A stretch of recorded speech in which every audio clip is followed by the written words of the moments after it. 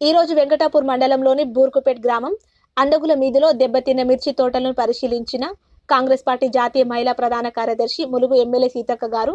ఈ సందర్భంగా వారు మాట్లాడుతూ కాంగ్రెస్ పార్టీ హయాంలో నష్టపోయిన రైతులకు నష్టపరిహారం ఇస్తే ఈ ప్రభుత్వం మాత్రం దున్నపోతు మీద వాన పడ్డట్లు వ్యవహరించడం బాధాకరమని రైతులు ఎవరు యాసంగిలో వరి వేయొద్దు వరి వేస్తే ఉరి అన్న ముఖ్యమంత్రి కేసీఆర్ ఆయన మాత్రం తన ఫామ్ హౌస్లో నూట యాభై ఎకరాలలో వరి వేసిండు అని సీతక్క గారు తీవ్ర స్థాయిలో ధ్వజమెత్తారు. వైరస్ మూలాన ములుగు నియోజకవర్గంలోని రైతులు మిర్చి తోటలు దెబ్బతిన్న పరిస్థితి ఉందని రాష్ట్ర ప్రభుత్వం దెబ్బతిన్న మిర్చి పంటలకు నష్టపరిహారం చెల్లించాలని డిమాండ్ చేశారు. అదేవిధంగా రైతు పండించిన వరి ధాన్యం కొనుగోలు చేయాలని లేని ఎడల రైతుల పక్షాన కాంగ్రెస్ పార్టీ పోరాటం చేస్తుందని సీతక్క గారు పేర్కొన్నారు.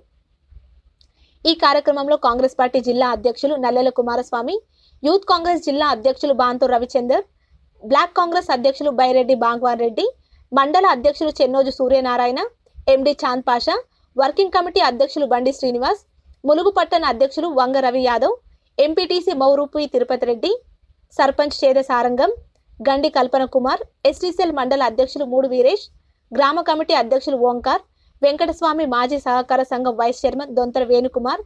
Kisan cell జిల్లా ఉపాధ్యక్షులు జంగిలి రవి ఎంపీటీసీ జంగిలి శ్రీలత యూత్ కాంగ్రెస్ మండల అధ్యక్షులు జాంతోడ్ గణేష్ జయపాల్ రెడ్డి సహకార సంఘం డైరెక్టర్ భీమరావు గండ్రకోట మధు మామిడిశెట్టి స్వామి యూత్ కాంగ్రెస్ నాయకులు మామిడిశెట్టి కోటి కొండబోయిన కిషోర్ తోట సాంబయ్య మురళి వార్డు సభ్యులు శ్రీధర్ కోట అంజన్న తీగల వీరన్న తదితరులు పాల్గొన్నారు. లేనటువంటి వాళ్ళకు కూడా ప్రభుత్వం ఆదుకోవాల్సినటువంటి బాధ్యత ఉంది. మరి వెంటనే కొనుగోలు సెంటర్ల నుంచి ధాన్యాన్ని సేకరించాలని వాళ్ళకు డబ్బులు కూడా వేయాలని ఇట్లా మిర్చి నష్టపోయినటువంటి రైతులను మానవత్వంతో హార్టికల్చర్ ద్వారా సర్వే చేయించి వెంటనే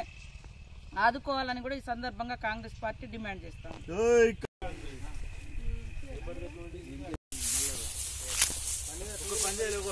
మన